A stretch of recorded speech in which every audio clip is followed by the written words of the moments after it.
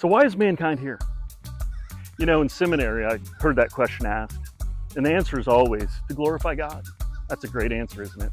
I think it sounds really good too. The Problem is, it sounds hollow. It sounds like it sounds like an insecure God who needs somebody to glorify him.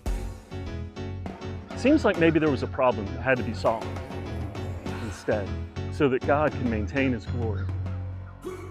But also a good God, a loving God, caring God, a God that we all love and a God that loves us.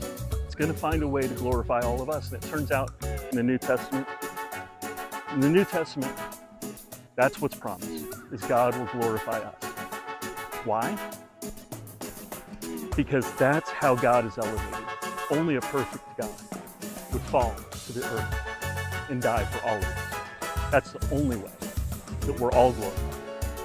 But in doing so, God is also glorified. Remember, Jesus said, The least among us is the greatest.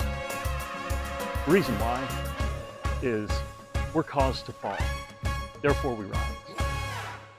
God was put on a pedestal and he let himself fall. He came low.